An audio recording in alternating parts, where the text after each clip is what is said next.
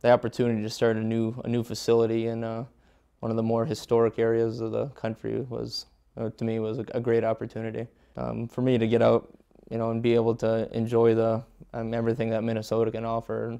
The stuff that you can only see on the Iron Range is a com- completely unique opportunity. The one big selling point for Steel Dynamics is I'm communicating amongst your group. Um, this office in general, I know all the engineers almost personally. People get along very well. The company's philosophy in general is geared around teamwork, as opposed to some other places that are be uh, more self-motivated, I suppose. Everyone likes to stay in their office. You come, you come here and you just see people, you know, doing circles around, working with one engineer, working with environmental, working with mechanical. Um, you know, work, uh, getting back in with the process guys, and you know, everyone has a, a really good team feel here.